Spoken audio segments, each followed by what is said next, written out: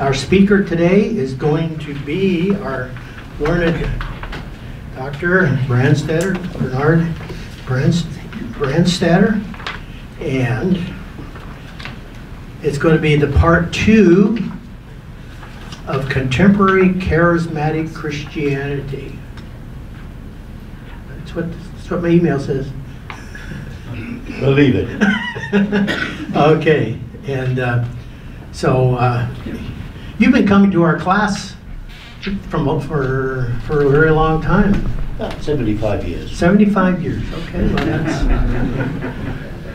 we'll, we'll kind of let that go, okay? But anyway, I appreciate Dr. Brandstater, and if you can come forward, we're going to let you um, speak. He has his fashionable hunting seat with him, so uh, let me just have a word of prayer and uh, we'll let you begin. We thank you for this opportunity to be here today at the Roy Branson Legacy Sabbath School. We pray that you'll be with Dr. Brandstater in a special way. Continue to watch over him. We pray in your name. Amen. Amen.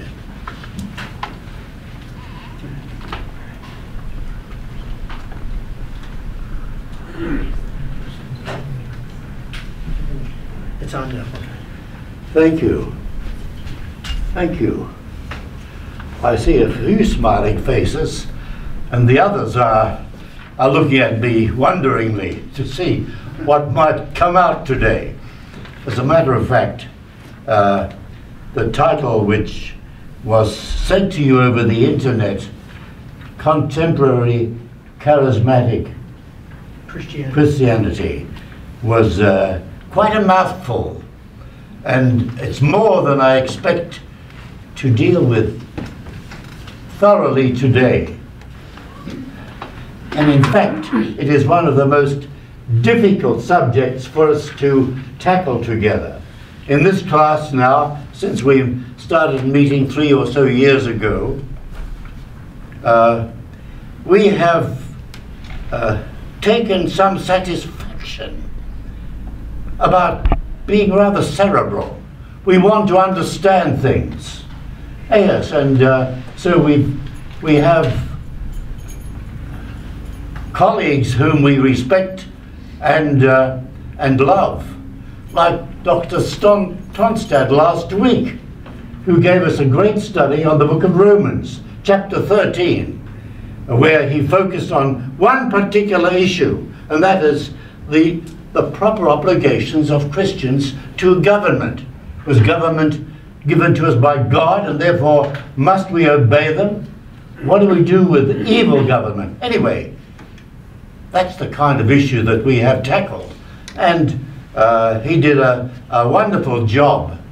I am delighted to know that the class is invited to by him and his wife Serena uh, to their home this evening. And I don't know more than that, about 6.30 or so this evening? Six What? o'clock. Six o'clock. Mhm. Six o'clock. If you come after 6.30, you may be too late. That's right. The door right. shut. Yes, and uh, you can find their address. It's somewhere in that well-known town of Loma Linda, and uh, it's all there on the internet, not in my head.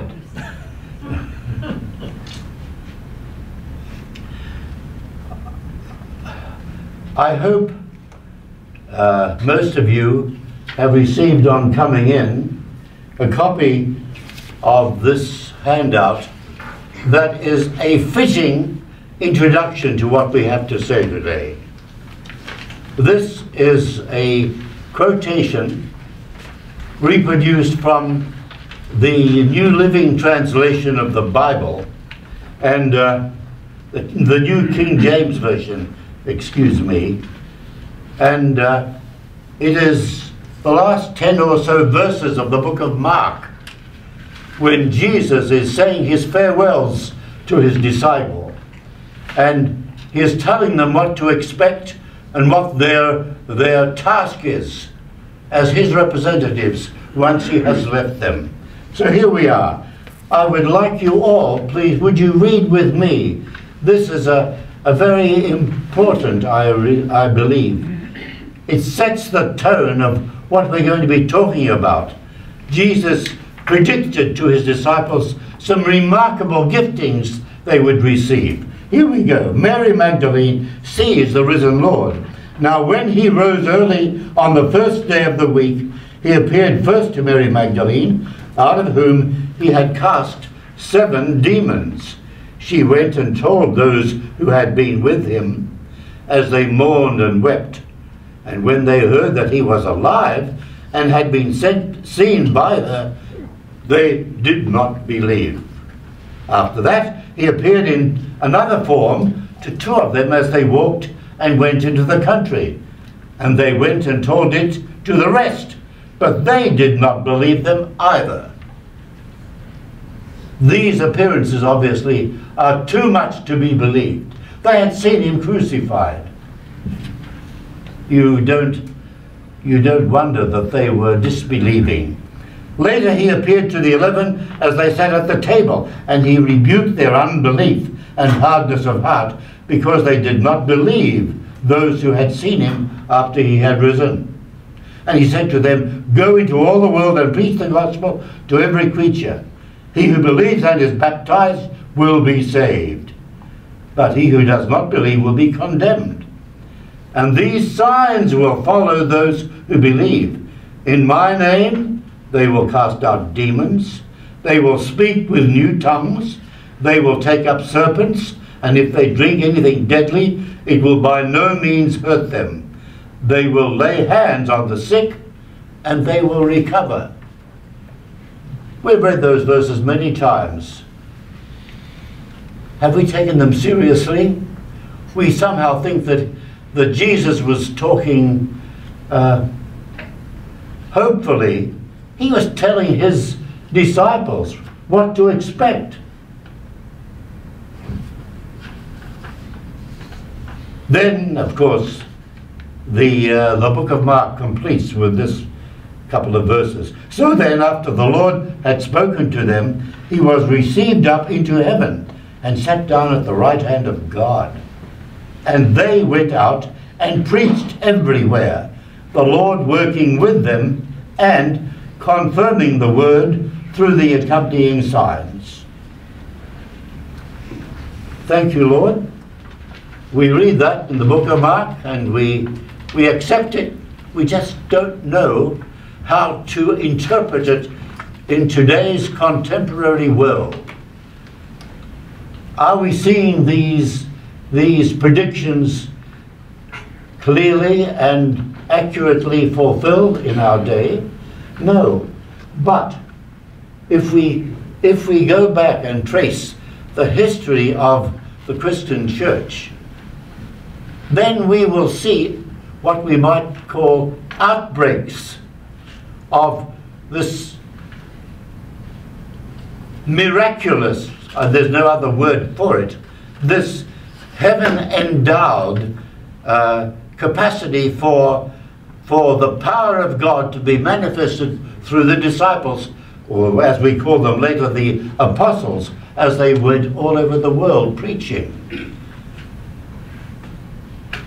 But those evidences are not being seen today, or certainly not, not in this class they are not. Uh, and isn't it fair to ask why not? Are Seventh-day Adventists today uh, fit to be called cessationists? That's a word simply means something stopped.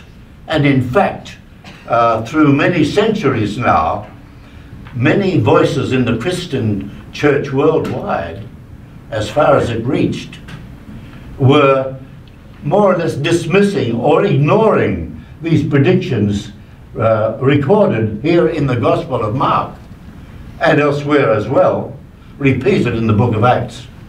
Uh, and it's a question that we still have to face today are these promises promises that extend today to today, or uh, should we be comfortable and uh, and simply accept the the attitude of cessationists. the uh, the name Benjamin Warfield may be known to you. He was a great theologian in the early 20th century, 1910, 1915, 1920. Uh, uh, yeah, quite a defender of creationism, actually.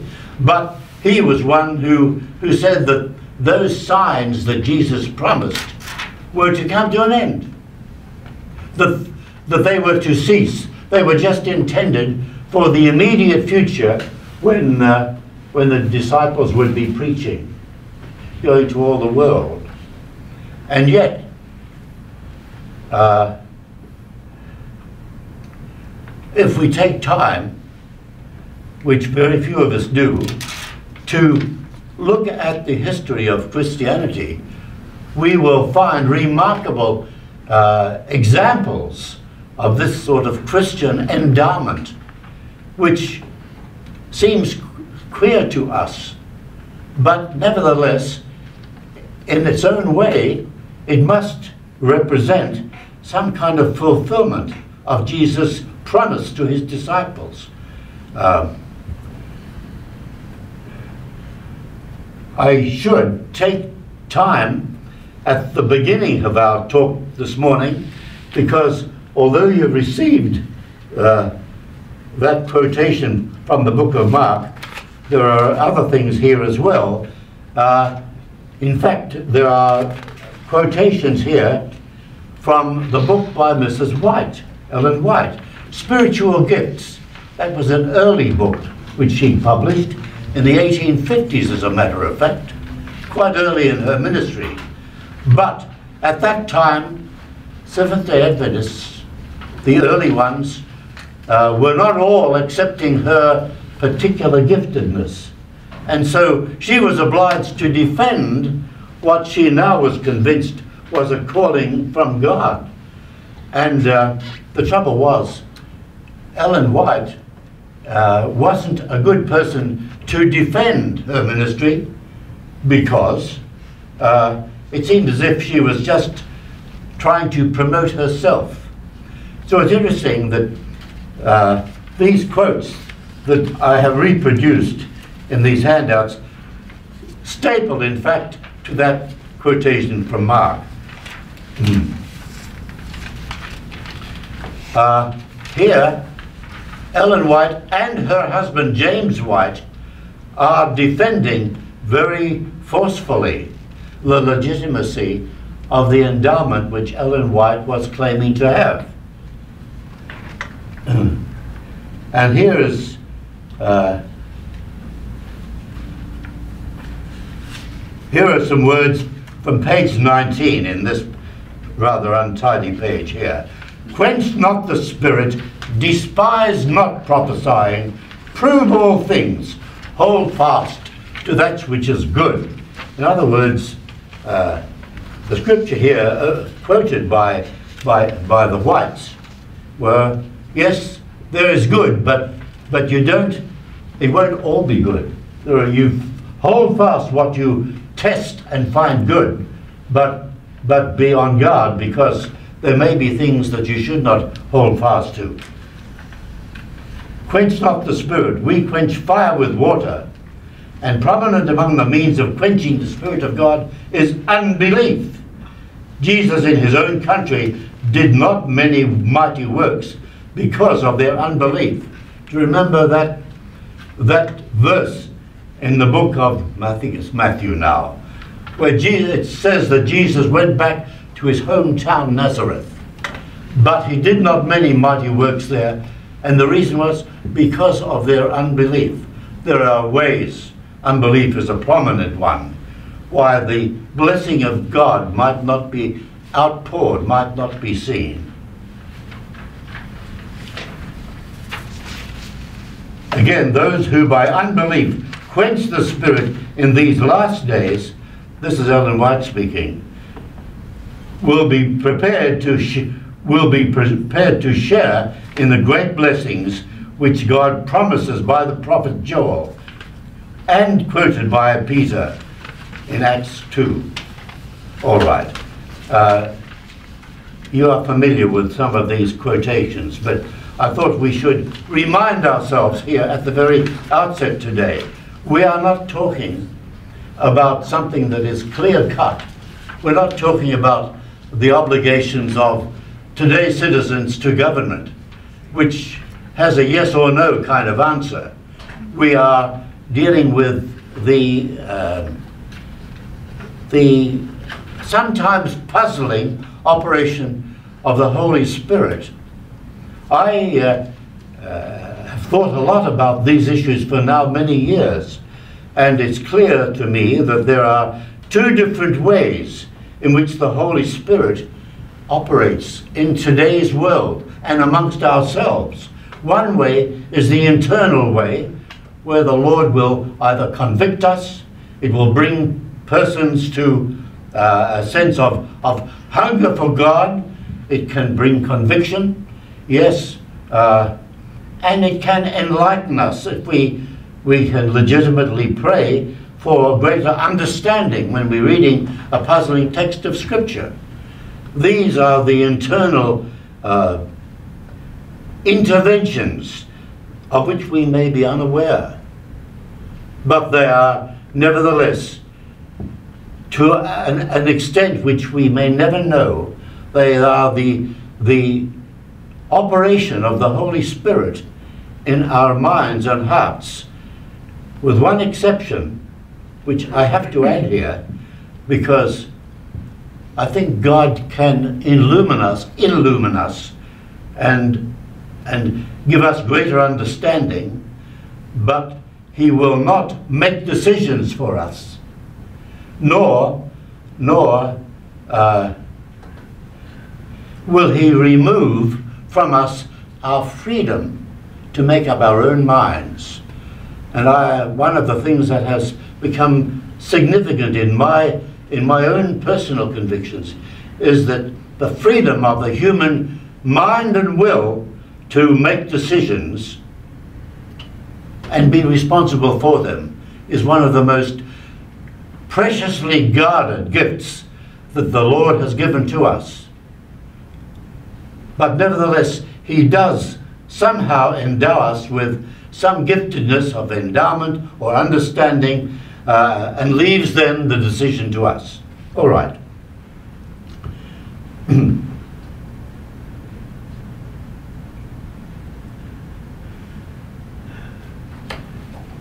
you know, I put aside a book here uh, be, uh, just before I began this morning, which I want to hold up and wave at you. If you haven't seen us, this is a book by none other than the man who is looking at me with a puzzling look on his face is by William G. Johnsson, our brother and friend up here, and it's called Authentic Adventism. And uh, I had enough time last night to, uh, to at least become familiar with the, with the fields of understanding and faith which Bill Johnsson, our colleague and friend, and uh, almost, I should say, a patriarch. He's been such a leader amongst Adventists for so many years. And he speaks from a rich experience. And I have no doubt that the Lord has blessed Bill Johnsson over many, many years in a, in a ministry, ministry that has been covered. And I do encourage you to get a copy of Bill's book. It will bless you, and even as much as I could read last night, it was a blessing to me. He speaks from that rich background and its feet on the ground, faithfulness. Uh, and I think I, uh, I can guess that Bill Johnsson will have some sympathy with the things I'm sharing with you this morning. it's a, and his sharing here, his vision of what the church should be today, uh, resonates very well with my own, my own sense of where this church, with all of its complexities, uh, where this should be heading today and how we can nudge it in that direction. Well, uh, The other, the other introduction I need to give is, apart from this handout you received, I've got a row of things here that Forrest Howe is, uh, thank you, Forrest. thank you very much. there are all kinds of, of extracts which I have selected from a variety of books, and I have, have uh, copied them, and uh, uh, not all of them will interest you. But the subject of the Holy Spirit and the Spirit's functioning in charismatic Christianity is so complicated. We could spend a whole, a whole session here together speaking on one small aspect.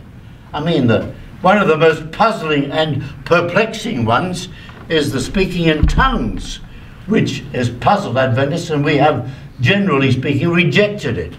But that can become a, a whole semester of study in college amongst uh, seminarians. So you see, uh, we have lots to cover. And so I'm inviting you to look upon uh, this row of handouts here. Some of you may have not been here when I reported to you the, the experiences in my early inquiries. I didn't understand anything about these issues. And so I, I uh, made available then this handout, which is titled Charismatic Experiences with God. Are they real? Are they contrived? Are they delusionary? Or are they spirit blessed? We have to make up our minds. Now, uh, if you don't have a copy of this, there's a small pile of them here. Starting, as we might well do, from the early church fathers. Here uh, is a handout from a history book which tells us about the signs and wonders and miraculous ministries of some of the early apostles in the first couple of centuries. Justin Martyr was perhaps the first of them. Then came a man named Irenaeus. Peter will know all about these men. He's a historical wellspring. but uh, if you read this handout, and this is just your, yours for the taking if you want to inquire more. This will tell you a little bit about those early church fathers, the ante-Nicene fathers. Those were the church fathers that ministered before the Council of Nicaea. There we are. Now, uh, oh my one of the earliest issues that arises when we talk about the ministry of the Holy Spirit is the gift of healing. We are encouraged in several places, and you know that well. I don't need, need even to, to quote the verses. One of the verses from Mark said that at the very end of that chapter. You, they will lay hands on people and they will be healed. Yes, and that promise also occurs in Joel chapter 2 and in Peter. So the gift of divine healing is prominent in the Bible. Here we are in Loma Linda University.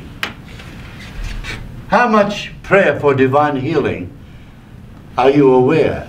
Or have we dismissed it as something that, that stopped when the disciples disappeared? That's a serious question serious question. Uh, I'm going to partly answer that question in a little while longer because there have been in just recent years examples of healing ministries which are mind-boggling. And I can assure you of that because I have been to interview the men who have been involved in this ministry. And uh, I did not know that what they were what they were recording and reporting, not in the uh, Review and Herald, I've got to say, no, and, uh, and not on, on Hope Television, we don't really report. Why do not our Adventist media report uh, the truly surprising and uh, remarkable evidences of God's blessing that is not coming from our own church work. I suppose it's not in our backyard. It doesn't seem to be appropriate to give publicity, good publicity, God blessed publicity, to the effects. I will share with you in a little while uh, something I learned about that, and it staggered me. Uh, there is uh, another another chapter out of a book here, which I would recommend that you read. It's a book out of a a chapter out of a book by a man named John Wimber, whose name may be not familiar to you, but he was the founder of the Vineyard Movement. And uh, I became acquainted with John Wimber because I had been perplexed and provoked by what had experienced to me in those early inquiries, which I told about several weeks ago, where I had been the recipient of a kind of a prophetic exhortation that was addressed to me by a man who'd never seen me, didn't know anything about me. Uh, things of that kind which were this were strange and and puzzling and and troubling because I didn't know what to do with them. And you may recall that I I inquired of the the elderly Roy Allan Anderson, whom I used to call as Uncle Roy, and he gave me his counsel that time. Anyway, if you don't remember that or if you you don't have your copy, there is a copy down here for you. It's just titled Charismatic Experience with God. And uh, you can pick up on those things. Now, divine healing in the Adventist community. This is just not all by far, but it is perhaps uh, typical or uh, exemplary of divine intervention in human lives that we don't normally expect to be aware of. It's, it's far removed from us. That's what I believed. Until Bill Lovelace, Pastor Bill Lovelace provoked me once and told me to go and find out. I was, I was puzzled and provoked by reference to divine healing by people like Oral Roberts. That name is familiar to some of you. But uh, there was one man that I used to see referred, referred to and reported on television that was far beyond Oral Roberts. And I would like to, to read this to you because I don't want to ramble. I want to come right to the point. And uh, this is titled, and there's a stack of this down here. It's titled, When God Does the Healing. Can we recognize it? Can we, can we attribute it logically and and reasonably to the intervention by God. My subtitle is Can We Believe Stories of Miracles in Africa? Um, let me repeat again. I'm sharing this with you because it is an example of what millions of people, millions of Christian believers believe is the intervention by the Holy Spirit in human lives. These are serious words, my friends. I am not dealing with, uh, with trivial matters such as church governance and who is fit to be the president of our church or even to, uh, to stand up and preach in church. when God does the healing. In early 2008, I was intrigued by reports, if I may relax a little bit here. I was intrigued by reports in Christian magazines and the internet that told of huge crowds attending evangelistic crusades by a man called Reinhard Bonnke, a German preacher in Nigeria. It's a crowd, it's a country of 150 million people and has big cities. The reports tell of over a million people at huge evening meetings. During some of his five-day campaigns, more than a million people have declared faith in Jesus. We're talking about a scale of evangelism and response that we have not ever heard of happening within the Adventist outreach. We have a different way of approaching uh, the gospel and, and large congregations, large populations like this. What was it that drew these great crowds to listen to the preaching of a plain-speaking, Bible-quoting European like Bonnke?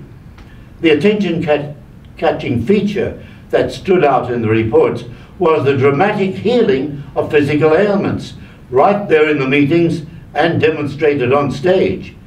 It can be an exciting show when God shows up. America has had some notorious healing evangelists, including AP, I'm sorry, Aimee Semple McPherson, whose ministry morphed into the Foursquare Church, Oral Roberts, Kathryn Kuhlman, but none of them matched the scale of success seen in Bonnke's preaching. The crowds included different religious preferences. Christians and village spirit worshippers were there. But what impressed me was that many of those coming to a new faith in Bonnke's meetings were from a Muslim background. Could this be true?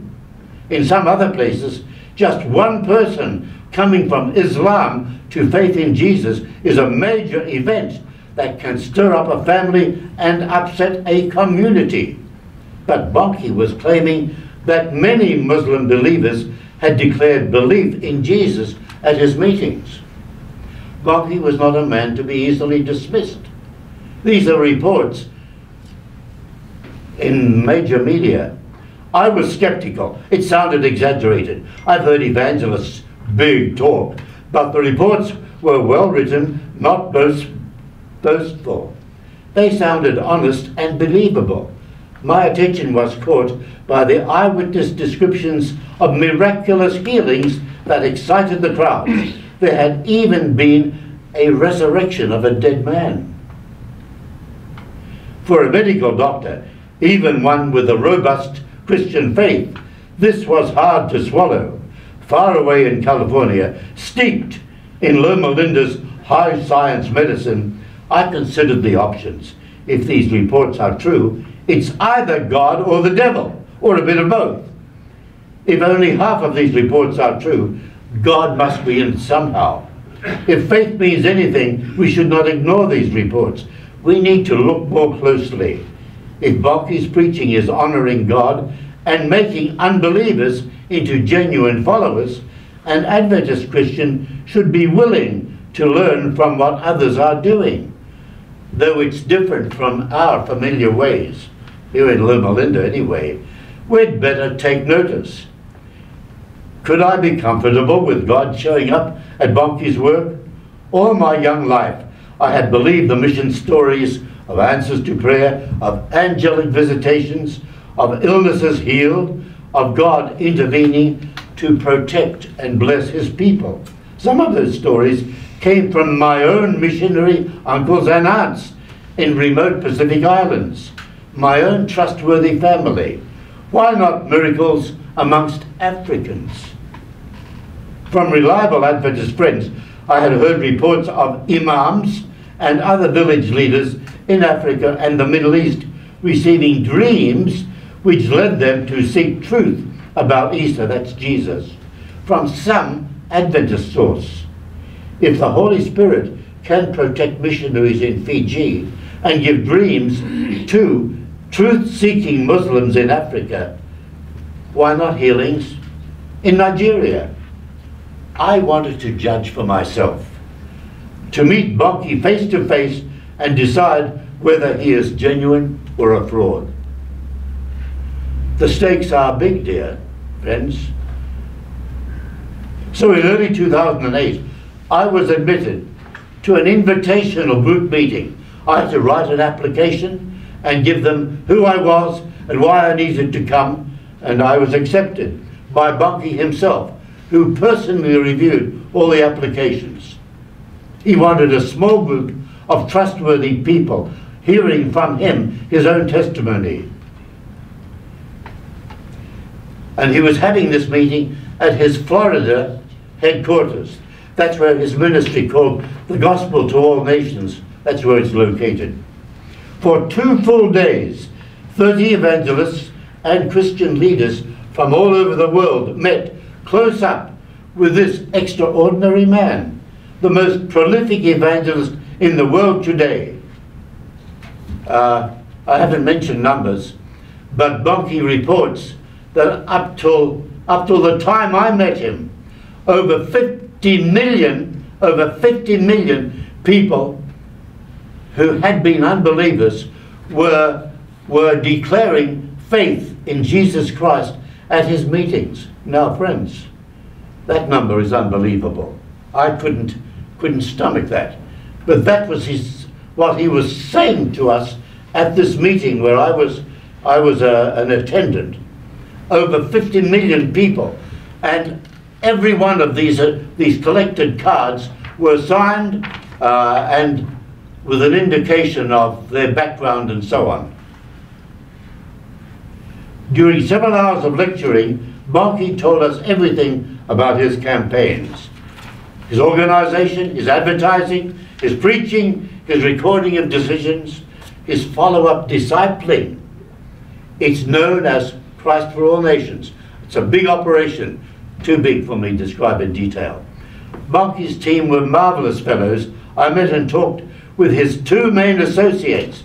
Now here I am. I've paid my own way. I've flown to Orlando in Florida. I need you to meet this man Bonnke because he's claiming things that are right out of the book of Acts. I had to either decide he's a fraud or else there's something good happening here. And we, in Loma Linda, are ignoring it. You see? His two main associates, Peter Van den Berg and Rob Bergbeck. Both of them I found to be dedicated men of action, committed totally to the central goal, winning people to Jesus. They are intimate with Bonnke and trust totally his truthfulness and his spiritual leadership. Yet they are practical realists with a job to do. Months ahead of time, each, at each new city, they would arrange meetings with governors and police, media interviews with publicity. They would hire a local work crew. And they have two huge truckloads of construction steel for platform and speaker towers for their mighty public address system, plus their own power generator and lighting system. This must all be set up in a large open space on the edge of town. It's far bigger than Ringling Brothers Circus. When you've got crowds of hundreds of thousands, even up to a million people, the average stadium cannot contain them. This was Bonnke, and I'm in, in this group of 30 men. Obviously, I'm the only Adventist there. I don't, I find it hard to defend the fact that I went, but I was provoked by what I was, I was reading. Then there's the training of thousands of local church volunteer counselors. Just listen to this as a, an example of how uh, a non-Adventist evangelist with a message to give, how he organizes things. And he's expecting a huge crowd and he has to have support from all the local churches. These people must mix with the crowd, pray with those who want to accept Jesus, and collect signed decision cards. New believers must choose a particular church where they will report to be instructed and discipled. Bonnke collaborates with many churches, but only if they preach the Bible from cover to cover, and if their pastor has a good reputation amongst local Christian leaders. No womanizing pastors, thank you.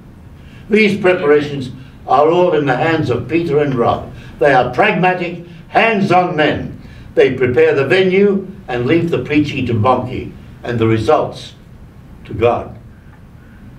I don't know how this sounds to you, but I have never read of any any uh, evangelism conducted anywhere in the world that compares with this in its its uh, in its size. What happens at meetings? The numbers Bonnke gave us were beyond believing. They regularly see hundreds of thousands coming to evening meetings. Several times they've had over a million at one evening meeting. Far too many for any stadium. Their PA system is said to be the most powerful of its kind in the world. Bonnke's invitation to accept Jesus is clear and passionate and direct. Say yes to Jesus now. He, Bonnke, may adopt African dress and have an animated platform style. He's meeting his audience at their level, as we do when we're talking to teenagers. The responses they see are marvelous. He tells that in 12 years of campaigning in Nigeria, his team has collected over 50 million decision cards, each one witnessed by a counsellor and signed from people who declare they are giving their lives to Jesus.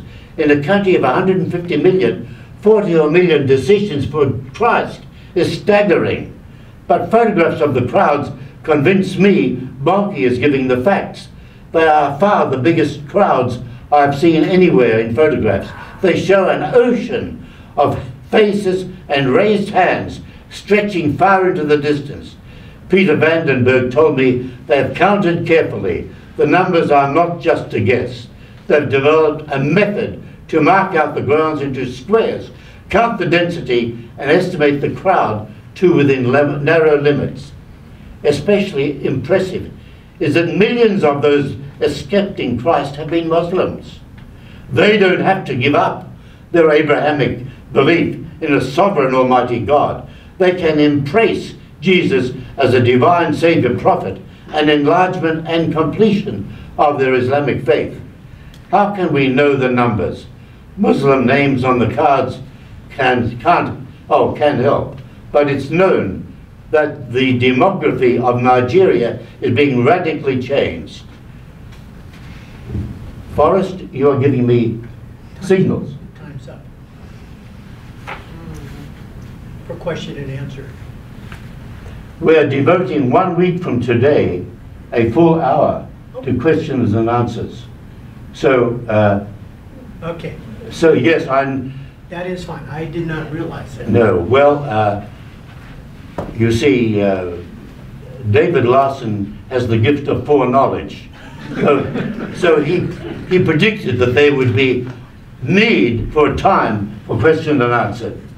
And uh, no, you're right. And if there are no questions here, I will be mightily surprised. I was surprised and I was unbelieving when I first heard Bonnke's reports of the sheer scale of his, of his evangelism. Over 50 million people accepting Jesus Christ as Savior and Lord. All right. Years ago, Nigerian people were evenly split 50 50 between Christians and Muslims. But the mix is changing. Experts have told Bonnke they believe the proportions are now 70 30. And some suspect the true numbers are closest to 20 or 80 20. This nation is being transformed. I tried to find confirmation of this. It wasn't easy because the authorities in Nigeria don't want to talk about it. I searched the website of the Nigeria Population Commission and I learned that in 2006, when the religion shift became obvious, the government wanted to avoid angry demonstration in Muslim areas. So they removed from census records any questions about religion. They don't want to stir up animosity and strife. devout Muslims can feel threatened and get angry and violent. You've no doubt heard about the Boko Haram in Nigeria. But the whole nation is being changed. So it's working. What exactly does Bonnke preach? I've taken the time to read this, friends, because it gives an example of, of extraordinary ways of reaching out to the non-Christian population in some continents. It's not just in Africa, although there are many other countries in Africa where Bonnke has ministered. It's in South America as well, where Christianity has been transformed in the last 30 or so years. It's certainly true in Asia. Anyway, let me. I want to finish this, and then we will we will close for today, and uh, you will have the chance to come and and uh, pick what you like from these handouts here that may answer some of your questions.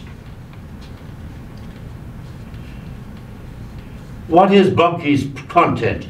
No hesitancy from him. Bonnke insisted he has no gimmicks, no tricks, he preaches the straight gospel of sin and salvation. Sin in Nigeria is like sin anywhere. Hurting your neighbor, telling lies, dishonesty and greed, hatred towards anyone, spiteful, angry attitudes, stealing, failure to pray and worship, neglect of spouse and children, too much time with sport and television, bad language, there's need for repentance. Can you imagine Bonnke reciting these, these failures to a crowd of Africans who were non, non-Christian? Jesus loves and died for us. Salvation and hope of paradise is a gift of grace through faith. You have to make a serious, no-nonsense choice and stick with it. That was what Bonnke said he presents when he preaches to these vast audiences. Okay? I judge for you. I'm re reciting here in this paper, and the copies are over there. I'm just reciting to you what I heard from him face to face. But there's something more. Beyond forgiveness, Jesus promised a gift called the Holy Spirit to make us new people, change our lives. He may even heal our sicknesses. At the meetings, new converts pray for forgiveness and salvation with the counselors. But with Bonnke, they pray for the Holy Spirit to bless them. The Holy Spirit is more powerful than the village ancestral priests' spirits. Nobody doubts the village priest's supernatural powers. All those Africans have seen the village priests at work. But Bonnke insists Jesus is more powerful and they can't have both. If they want Jesus, they must reject the demonic power of the village priest. They must bring their charms and amulets to tomorrow night's meeting here and destroy them in a bonfire. You see what, what Bonnke's mission is. Sick people do get healed at Bonnke's meetings. Village, city, city and village people see it and believe. After hearing the accounts firsthand, I eventually gave up my stubborn skepticism. Believe my friends, I'm a Loma Linda medical professor. Uh, I found it very hard to swallow all that I was hearing, except that he was a man of God, speaking from a very rich experience. Some stories were questionable, some others were beyond fabrication. Healed people would come to the big platform waving in the air their crutches or a wheelchair. And on the microphone, they would tell the crowd what happened to them here at this meeting. Of course, the crowd would get excited and shout hallelujahs, or what is the African equivalent. Christians, Muslims, all of them. And the whole huge crowd had the feeling that, hey, we're seeing it. God is here. Seeing is believing. When you see it for yourself, one miracle can make anyone a believer. I was sued, this is Bernard Brandstater now, I was sued on first name terms with Bonnke we were Reinhard and Bonnke and, and Bernard. I was given the privilege of having lunch with him, one on one, over a small table, with an hour and a half, during which I was free to ask him every question I wished to ask him about his ministry and about his miracles, all the rest. There was plenty of time to ask questions, and I quickly got down to business. He was open and direct and self deprecating. He had no explanation for the healing miracles except they were not his doing. He had no such power. He prays for the Holy Spirit to come and miracles just happen. Many sorts of healings. They have become such a famous feature of his campaigns that he now, that is Bonnke now, has a strong faith and a confident expectation they will having happen in his campaigns.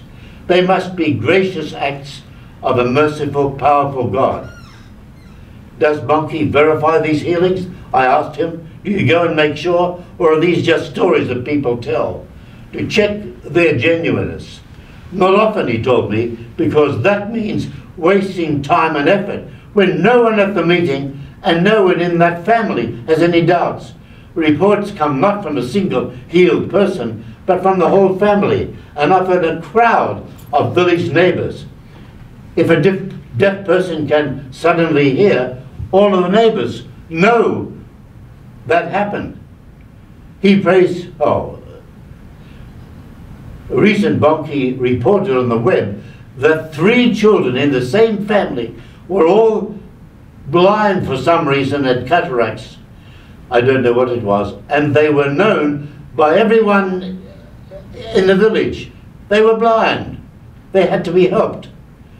But at the meeting, in Bonnke's meetings, all three of them received sight at an evening meeting. Wait a minute. And Bonnke told me that he did send one of his associates to that village to verify to see whether that was believable or not. And that, that emissary that went to the village to check, he found it was true.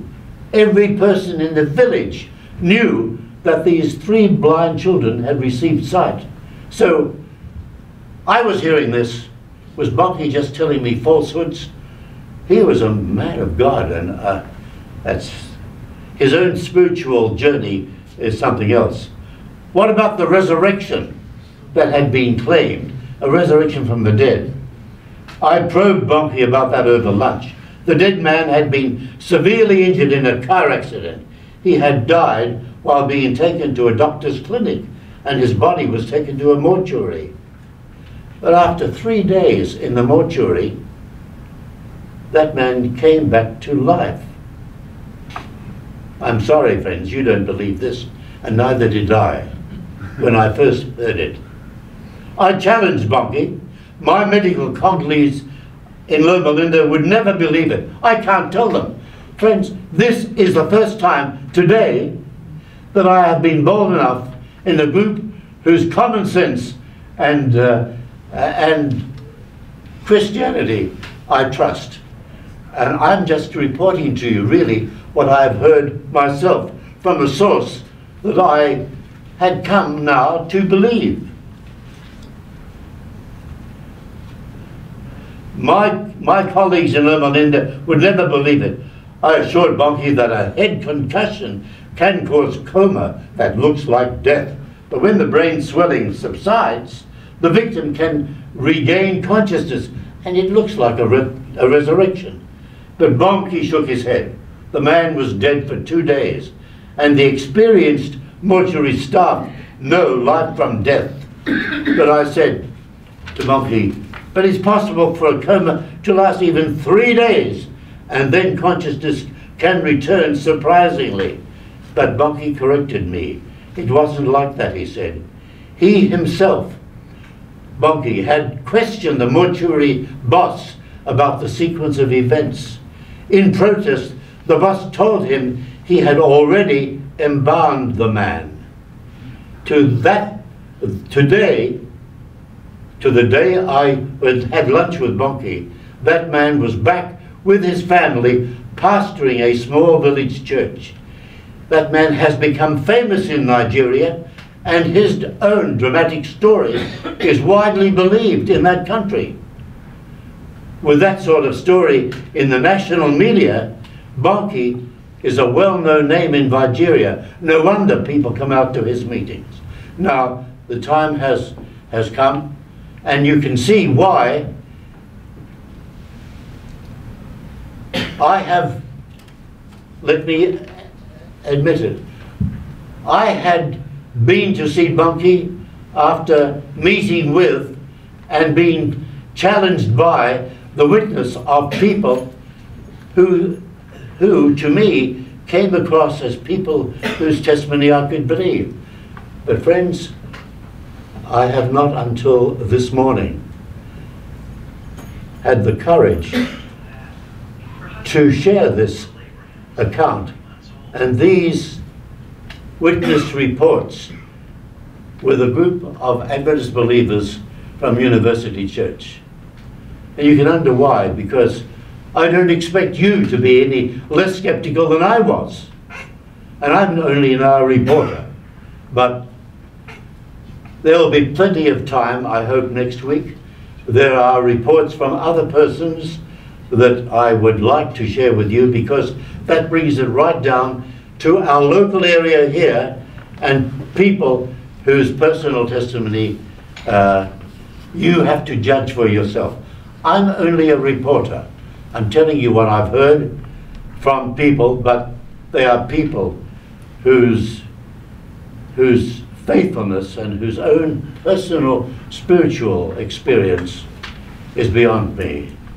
And so I'll leave it to you. And Forrest Howe is here. I, I know that we will pray from the green sheet in a moment, but I cannot stop my recitation this morning without my prayer for guidance, guidance and instruction. For all these years, I have kept these things to myself because they were so troubling. I didn't expect gatherings of, of my fellow church members would be easily persuaded. I'm not even persuaded today. But I offered to David that I would report what is this charismatic stuff all about? And I would like to close with my prayer, and then we will have you all join in the benediction. Lord, I've been with these good people several years now, and we've been seeking you in many ways and seeking understanding, sometimes about matters which puzzle us and we don't understand them. And so, Lord, it's one of those things that I have been sharing today. And you know the, the uncertainties and qualms which, which these reports that have come to me have, have provoked and troubled me, and, and they must be puzzling and perhaps, perhaps troubling others this morning. Lord, all I know is that we need the Holy Spirit to guide us to enlighten us and help us to believe what is your believable word. And Lord, we just want to do your will and follow you as far as you lead us and as long as we live. In Jesus' name, amen. And thank you, Doctor. And uh, at this time, we'll have our benediction. The Lord bless you and keep you. The Lord make his face to shine upon you and be gracious to you. The Lord lift up his countenance upon you and give you peace. Amen. I'm inviting you here and now to be willing to share with the rest of the group any extraordinary experience that has puzzled and perplexed you. And it'll be your turn next week. Thank you.